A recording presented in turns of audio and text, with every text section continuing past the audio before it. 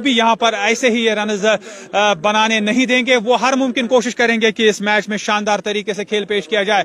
एक बार फिर इस गेंद पर क्या शानदार स्ट्रोक लिया है बल्लेबाज आसिफ मार्स ने।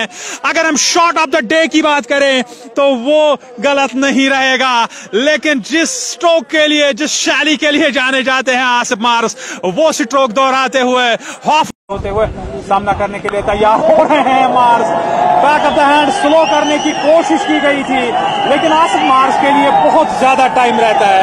उनके पास इतना टाइम रहता है कि वो गेम को एक बड़े छक्के के लिए निकाल सके और गेंद को डिस्लॉज किया है।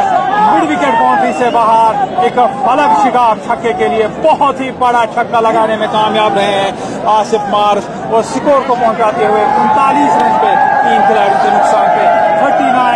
मुबादला सब थी तो उनतालीस है अब बोर्ड पे स्कोर, तीन खिलाड़ी के नुकसान पे। रन पे खेल रहे हैं सुहेल थोपा, दूसरे ओवर का यहाँ पर अपने कोटे का डाल रहे हैं और इनिंग्स का चौथा ओवर। इस बार क्या शानदार स्ट्रोक लिया है, एक बार फिर यहाँ पर बल्लेबाज आसिफ मार्स ने और गेंद को उड़ा दिया है टीप लॉन्गा बाउंड्री से बाहर, छह रन के बल्लेबाज आसिफ मार्स। क्या शानदार स्ट्रोक था यहाँ पर और इस गेंद पर बहुत ही बेहतरीन तरीके से कैच करने में कामयाब रहे हैं।